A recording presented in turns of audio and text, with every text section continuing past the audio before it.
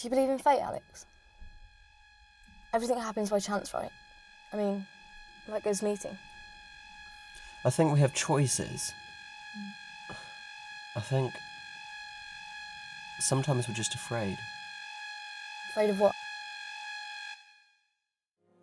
What the hell's going on? There is no future in racing. Do you understand me? No future.